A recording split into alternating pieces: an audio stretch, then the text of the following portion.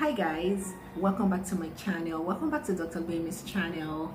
If you haven't seen my last video i would advise you watch this last video because all the videos i've been posting lately are kind of like in a series. So i've spoken about relationships i've spoken about what you should do when you're preparing to get married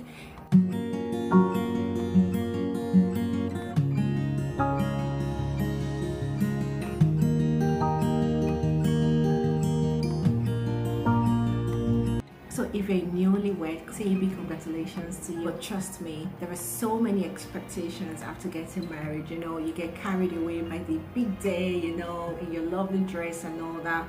But after that day comes reality. From that particular day of your wedding, people are already counting down to when you would have your first baby.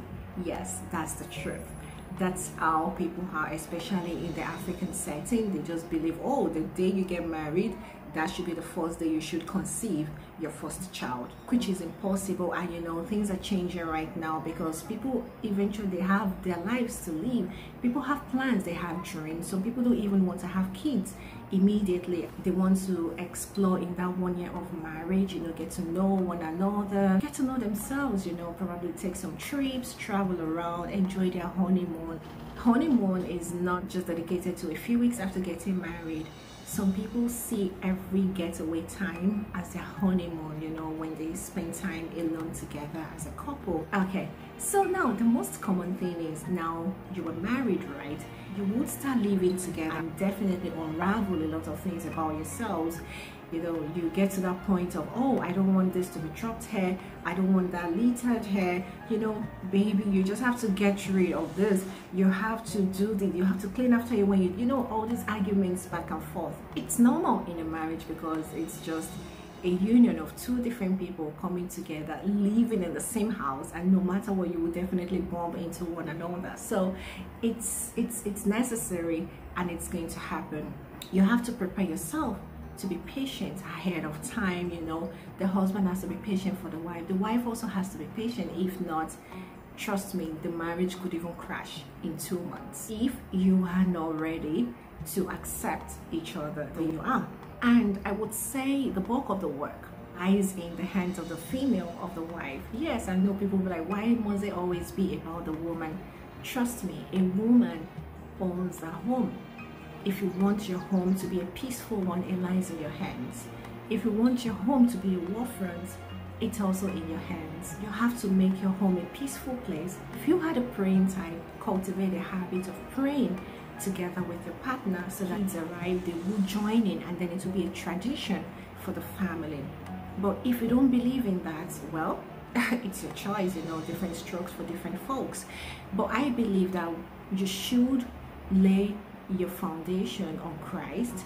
As a Christian, I am a Christian, and I would advise every other person if you're Muslim, nothing stops you from praying to God every now and then with your partner because it just brings you together. You know, there is more than you know, you know the sexual part.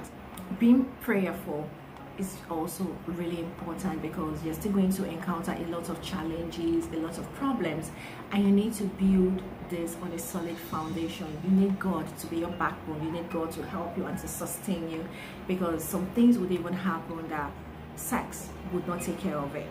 You only have to go to God in prayers and then things will be sorted out. Now that you're married, learn to make your husband your best friend don't go out there spilling all your beans you know.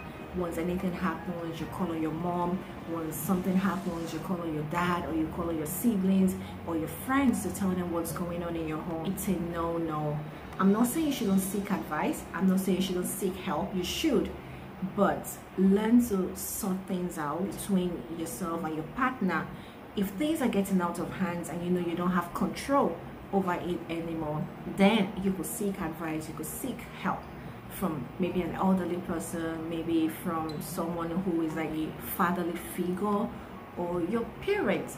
When things are getting out of control trust me the first set of people you should talk to are your parents because they want the best for you. Try to sort things out between yourselves before you take it outside the home because once you spill it out there you can't take it back if you give a wrong impression about your husband that's it you, can never correct it and it's just going to be there for life. You don't want people hating on your husband, you know. Everyone wants to be cherished, and if you make people hate your husband, obviously it's going to transfer that aggression onto you, and you might eventually not even enjoy your marriage. As a woman, make your home clean. No husband loves a dirty woman. You know, when things are untidy, try to tidy them up. If you can't do them alone, you can seek help from your husband. Oh, honey, please, could you help me out? He will gladly do, but you have to get things started. You need to make your husband understand that you are a clean woman and this is what you want for your home. He has no choice other than to comply. So if you always make things right, get things tidied up, you want your home clean and safe. Your husband has no choice other than to get used to a clean environment even if he's a dirty husband. He would cultivate the habit of keeping the home clean. So women cleaning the home making your home a safe place lies in your hands always make your home enticing to your husband to come back home so you know. You also want your home to be a safe place for you to rest you know to enjoy you know and all that. Learn a certain tradition with a partner. One date you know explore have fun. Memories should be made. And don't limit yourself. Even when the kids arrive still make it a tradition to explore and to have fun in life because you know life is just too short and this is your family. This is your immediate family. Make sure the bond between you and your husband is a strong one because a lot of forces a lot of people will be envious and jealous and they will want to come between both of you. It lies in your hands really. If both of you allow people to break you or to come in between you and if you build a really strong bond impenetrable by people congrats to you because trust me, there's nothing as good as when you have an unbreakable bond with your husband. This is your husband, your best friend. This is your wife as well, she's your best friend. You don't need to go out there looking for best friends that don't exist, or like some people would say, Oh, she's just my friend. And you both should understand that there should be limits. If your husband is a type that oh he's got a lot of female friends out there female colleagues. He should understand that now that he's married there should be a limit to everything. You don't want to get your wife jealous. And at the same time the wife as well. If you are the type that you feel oh i'm always hanging around men i feel more comfortable with my male friends and all that this is a time to set a boundary you don't want your husband being jealous. It's too early, and I don't even think you should give room for a distrust.